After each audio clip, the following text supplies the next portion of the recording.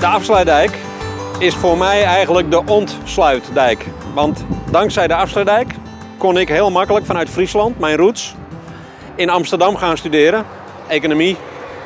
En daardoor ben ik ondernemer geworden, daardoor ben ik in het buitenland gaan werken. En ja, dit is voor mij een stuk ontsluiting geweest naar de grote wereld. Cornelis Lely heeft denk ik wel 30, 40 jaar geijverd om die afsluitdijk aan te leggen. Dat was toen een heel gedoe. En ja, dat soort mensen die dus zeg maar visie hebben, die investeren in infrastructuur, die project, grote projecten willen, die hebben we ook nu nog in Nederland, maar die hebben we ook nodig. Vergt lange adem en ja, daar heb ik respect voor.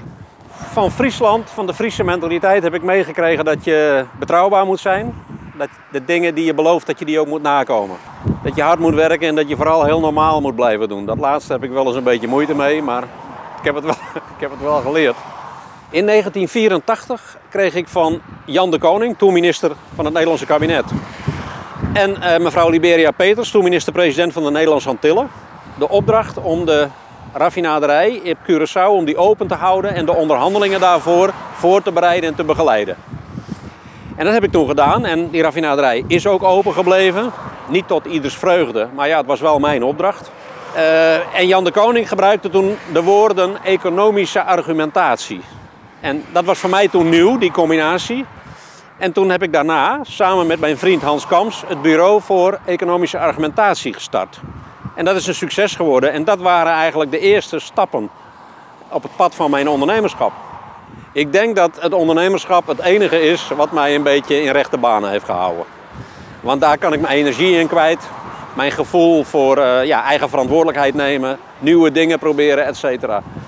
Uh, als ik die kans ook had gehad in een vaste baan, dan was het goed gekomen. Maar ja, nu heb ik het allemaal zelf in kunnen richten. Dat past bij mij.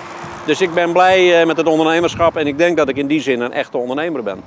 Ondernemers zijn wat mij betreft per definitie maatschappelijk bezig.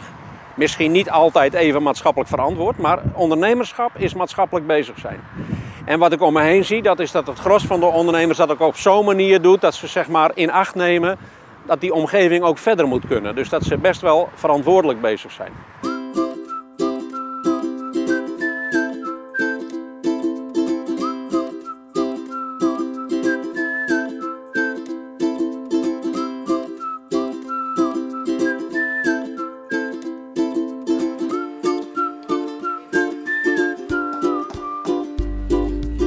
We staan hier bij het uh, vakcollege Techniek in Gorkum, vakcollege Gilde. Een heel succesvol uh, vakcollege en een van de kleine 100 scholen die we met z'n allen hebben opgericht hier in Nederland. We hadden als probleem dat er bijna geen jongeren instroomden in zeg maar, wat we vroeger LTS en MTS noemden. Bijna niet. Dat was, die opleiding was een beetje weg, weggevallen in het VMBO en het MBO. En wij hebben door het vakcollegeconcept dat er weer uitgetild en zijn naar die oude waarden, trots op vakmanschap, teruggegaan. Uh, ik ben een praktische man. Als ik op een gegeven moment zie van ja, iedereen is het hier over eens dat dit moet gebeuren, maar het gebeurt niet. Dan ben ik wel het type die zegt van nou laten we nou eens een paar goede mensen bij elkaar zoeken. Want het draait altijd om mensen. Een paar goede mannen en vrouwen bij elkaar en zeggen van nou zullen we nou eens de handen uit de mouwen steken. En dat pakt altijd goed uit. Want het gros van de mensen zit goed in elkaar, dus die willen vooruit. Als ik aan het vakcollege denk, vakcollege techniek, dan denk ik ook aan zulke initiatieven als zeg maar Wim van der Leegte met zijn mini-fabriek in Borne.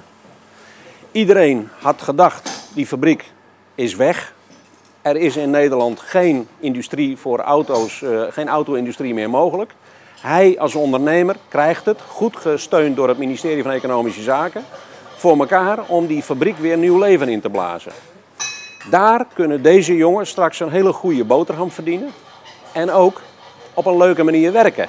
Met robots. Want van Wim is de uitspraak: geen banen zonder robots. Dus deze jongens leren hier ook het, hand, het handwerk, maar ze leren ook zeg maar, omgaan met moderne technologie. En die combinatie die gaat Nederland eh, zeg maar, tot grote hoogte opstuwen. Daar ben ik van overtuigd.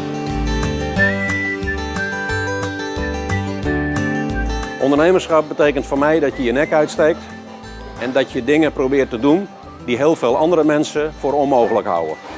Wel een kopje erbij, clever, intelligent doen, maar je nek uitsteken, handen uit de mouwen. Dat is voor mij ondernemerschap.